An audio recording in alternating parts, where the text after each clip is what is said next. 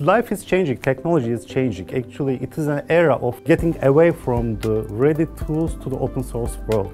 Open source is good because it's a community contributed actually environment. Uh, with the open source, you have flexibility. You can easily manage and uh, monetize your resources and your components.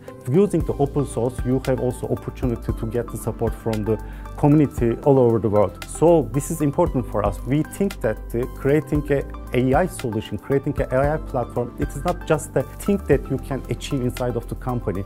You should build the ecosystem inside of the company, outside of the company.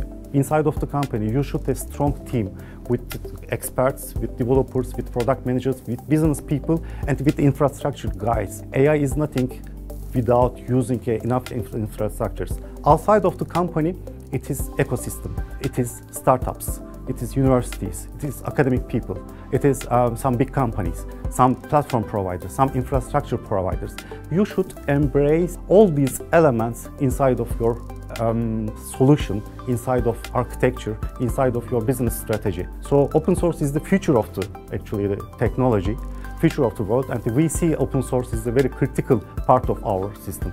Now we converted all our ready models into the open source and our actually the models performance is 30% higher than the previous. Red Hat means to us reliability, customer focus, innovations and of course open source.